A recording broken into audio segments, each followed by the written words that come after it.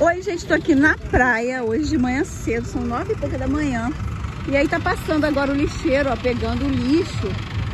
Sendo que eu fiquei muito decepcionada. Olha lá, eles estão colocando no saco o lixo espalhado. Tinha muito lixo espalhado, sabe?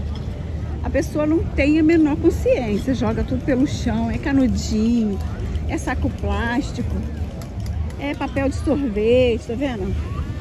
Papel de sorvete, papel de bala, é copinho. Isso tudo aqui eles deixam jogado no chão. Eles quem? O povo, né? Olha, copinho, isso tudo vai pro mar. Isso tudo vai pro oceano, a tampinha. A prefeitura faz o máximo, né? A prefeitura tá ali. Vou filmar para vocês. Eles estão catando do chão. Aqui estava tudo no chão lixo, sabe? Tudo jogado no chão e eles estão catando tudo. É um trabalho muito bom que eles fazem.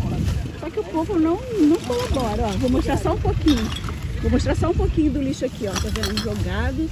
Eles deixam tudo espalhado. Então a prefeitura faz um trabalho bonito de catar tudinho, botar no saco a pessoa não tem a menor consciência de catar o teu lixo. Se cada um pegar o seu lixo, aqui, gente, ó, garfinho, isso tudo aqui.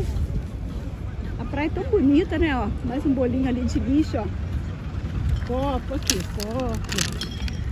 Isso tudo vai pro mar, porque o mar sobe, a maré sobe. Olha aqui, ó, garrafinha, Poxa, gente, tem pra praia.